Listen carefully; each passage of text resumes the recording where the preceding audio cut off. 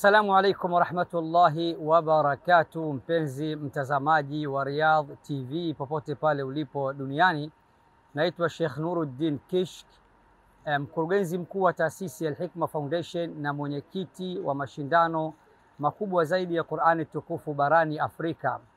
Hapa tulipo tuko ndani ya uwanja wa Uhuru, ikiwa ni tarehe nane mwezi huu wa nne mwaka huu 2023 kuja kuhakikisha kuwa mambo yanaenda vizuri, mambo yako bambam, masha Allah, mambo yako shwari, alhamdulillah rabbil alamin, na maandalizi kama mnavyoona yanakwenda vizuri na kila kitu kiko vizuri kwa idhini ya Rahman aliyeteremsha na kufundisha Qur'an. Ama hii taharuki kidogo iliyopatikana ya mvua ambayo leo imeshuka kwa wingi sana, mimi nasema mvua eh, ni ya Allah na Qur'ani ni ya Allah. Mvua ni neema na Qur'ani ni neema zaidi. Kwa hiyo Allah subhanahu wa ta'ala tunamuomba hizi neema mbili asizigonganishe kesho insha Allah. Wapenzi wa Qur'ani, msiwe na wasiwasi wowote, iwe jua iwe mvua, mbele ya Qur'ani sisi tunasema hatuogopi chochote. Ikiwa watu wa mpira hawaogopi jua wala mvua mbele ya mpira, wewe mtu wa Qur'ani utaogopaje jua au mvua mbele ya Qur'ani? Tumejitahidi kuweka mahema ya kutosha na maeneo mbalimbali ili mradi kupunguza adha fulani ya jua na mvua, lakini hatuwezi kufanya kila kitu. Sisi tunafanya yale yaliyo ndani ya uwezo wetu, yaliyobaki tunamwachia Arrahman allama alquran. Tunasema ya kuwa Allah ana watu na watu wake ni watu wa Qurani. Tunataka kuwaona watu wa Qurani kesho wakifurika hapa, iwe jua iwe mvua. Wassalamu alaikum warahmatullahi wabarakatuh. Naitwa Seif Suleiman Muhammad, meneja masoko wa benki ya watu wa Zanzibar. Leo hii tupo hapa uwanja wa Uhuru jijini Dar es Salaam, tukiwa katika maandalizi ya mwisho kabisa ya mashindano makubwa barani Afrika yanayoendeshwa na taasisi ya Al-Hikma Foundation. Sisi benki ya watu wa Zanzibar kupitia PBZ Ikhlas ndio wadhamini wakuu kwa mara ya tatu mfululizo. Ni kusema kwamba miaka mitatu yote hii mdhamini mkuu wa mashindano haya makubwa barani Afrika kupitia Al-Hikma Foundation basi ni PBZ Ikhlas. Hivyo basi wananchi wote tunawakaribisha wale waliokuwepo jijini hapa Dar es Salaam kufika uwanja wa Uhuru na kufuatilia mashindano haya makubwa ambao washindani wanatoka maeneo mbalimbali, nchi mbalimbali barani Afrika, Afrika wakiwemo hawa Watanzania wenzetu upande wa Tanzania bara pamoja na Zanzibar. Maandalizi yetu tuseme yapo vizuri. Kwanza tuhakikishie kwamba wale ambao hawatokuwepo hapa Dar es Salaam wana fursa pia kuwafuatilia ma, ma, mashindano haya kupitia vyombo mbalimbali vya television ambavyo pia vitapatikana katika dunia nzima kupitia online TV pia. Wale ambao watahudhuria hapa, kwanza kuna faida nyingi. Faida ya kwanza ni kusikiliza hii Qur'an ambayo ni maneno ya Mwenyezi Mungu ambalo ni jambo kubwa na ambalo linafuatiliwa miaka yote kwamba ni jambo ni kubwa. Lakini la pili, kuifahamu benki yao ya PBZ, PBZ Ikhlas, pia wana fursa kwa sababu wafanyakazi wetu watakuwepo hapa, hivyo watakuwa na fursa kuuliza yale ambayo pengine hawajafahamu, pengine hawafahamu kwamba maana akaunti zote za ambazo zipo PBZ Ikhlas, mtu akifungua, ikiwa ya kampuni, ikiwa binafsi, ikiwa pengine pesa ya kigeni au pesa ya, yetu ya Kitanzania basi mwisho wa mwezi hakuna makato yoyote.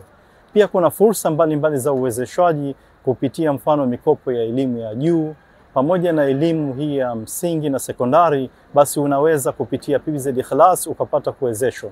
Aidha, unaweza kuwezeshwa kutimiza nguzo yako ya tano ya dini ya kwenda hija kupitia PBZ Haji account pamoja na PBZ Haji financing. Hizi pia ni fursa ambazo ziko PBZ, lakini pia unaweza ukawekeza ukafahamu kwa kumbe kuna uwezekano wa kuwekeza benki na bila kupata riba ukapata faida in return, kwamba wewe unawekeza pesa kama mfumo ule wa fixed deposit, lakini badala yake hupati riba.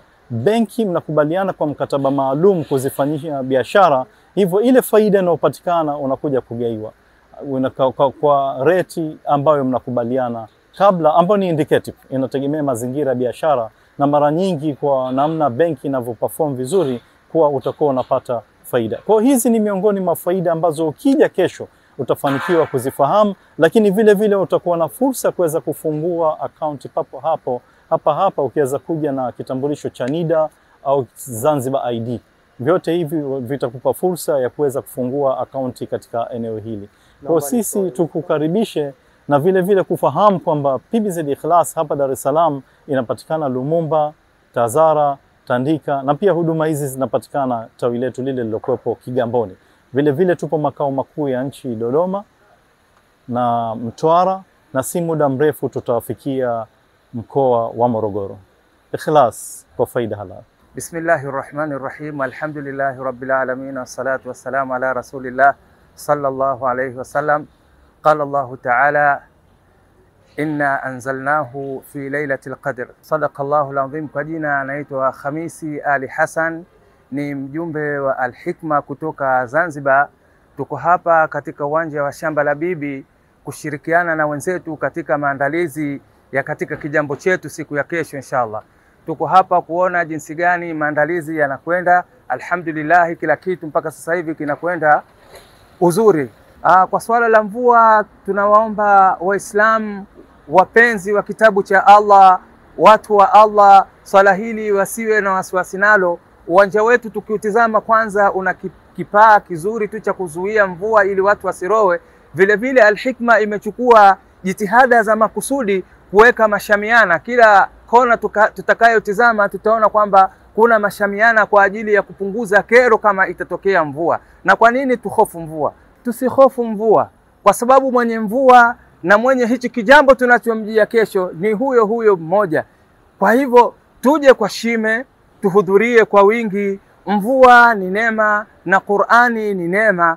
Asa kheri ikija, umepata mvua, Mwenyezi Mungu atajalia kuwa kwako wewe ni baraka, utaondokewa na mambo mengi, kwa sababu Allah Subhanahu wa Ta'ala wanasema wanazalna minas samai maan tahura, tumeteremsha kutoka mawinguni maji yaliyokuwa safi yenye kusafisha. Na kusafisha huko kwa pengine kesho wewe una matatizo yako, una maradhi yako, ukipata maji hayo katika kijambo chetu hichi asa Allah akakuondolea matatizo yako yote. Kwa hivyo tunahimidhana watukufu wa Islam, watu wa Allah, tufike kwa wingi kesho. Milango katika uwanja wetu huu yote itakuwa wazi ili kuondosha msongamano, na milango itafunguliwa kuanzia saa kumi na moja za alfajiri. Inshallah, tunakuombeni mufike katika jambo hili, kwani Allah subhanahu wa ta'ala amesema watu wa Qur'ani ndiyo watu wake. Sasa wewe kama hukuhifadhi Qur'ani, basi hujifananishi na hawa watu waliohifadhi Qur'ani ukawa miongoni mwa watu wa Allah. Nafikiri watukufu wa Islam tutahudhuria kwa wingi ili tufanikishe jambo letu, ili tuendeleze historia yetu ya nchi yetu ya Tanzania. Nchi yetu inasifika ni nchi ambayo inakipenda kitabu cha Allah. Hakuna mashindano yoyote ulimwenguni yanayokushana watu wengi isipokuwa ni mashindano haya yanayofanyika katika nchi yetu ya Tanzania. Kwa hivyo tuendeleze utamaduni wetu huu wa kukipenda kitabu cha Allah subhanahu wa ta'ala. Allah na watu watu wake ni watu wa Qur'an. Wassalamu alaikum wa rahmatullahi wa barakatuh.